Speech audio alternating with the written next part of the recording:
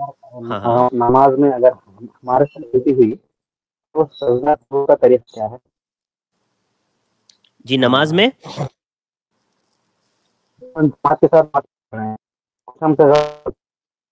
आपकी आवाज़ साफ़ नहीं है सैयद साहब। आपकी आवाज़ समझ में नहीं आ रही है क्या बोल रहे हैं आप? नमाज़ में?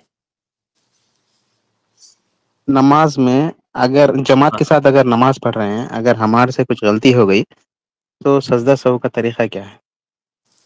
अगर आ, आप मामूम हैं यानी मुक्तदी हैं और आपसे कोई गलती है तो आप पर सजदे सह नहीं है क्योंकि आप इमाम के पीछे हैं। जी जी हाँ। जी भाई वाजे हुआ सैयद भाई आपके लिए? हाँ वाज वाज है। शुक्रिया शेख। जजाकल्ला खैर। अगर कोई शेख जैसे वाजिब या रुकन छोड़ दें तो? हम्म। अगर किसी इंसान ने आ, ये थोड़ा तफसील आपने पूछा बहुत अच्छा। जी।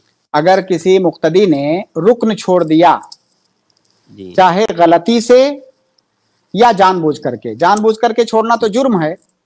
गलती से छोड़ेगा तो उसको गुनाह नहीं मिलेगा लेकिन नमाज़ नहीं होगी उसकी वो रकात नहीं होगी।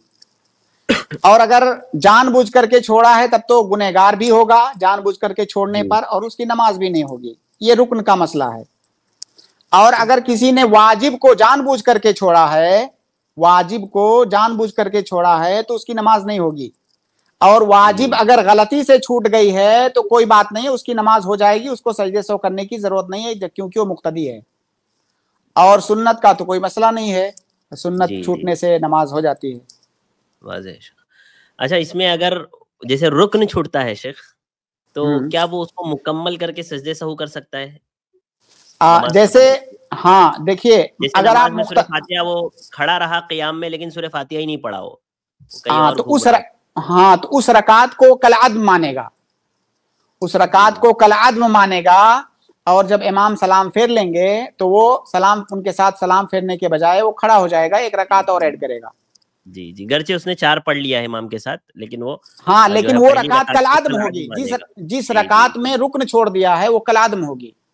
जी जजाकल्ला खैर शेख बारकल्लाह